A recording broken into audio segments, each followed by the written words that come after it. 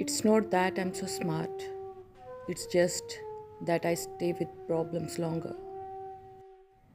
Don't trust the person who has broken faith once. William Shakespeare. Without communication, there is no relationship. Without respect, there is no love. Without trust, there is no reason to continue. Life has taught me you can't control someone's loyalty. No matter how good you are to them, doesn't mean they will treat you the same. No matter how much they mean to you, doesn't mean they will value you the same. Sometimes the people you love the most turn out to be the people you can trust the least.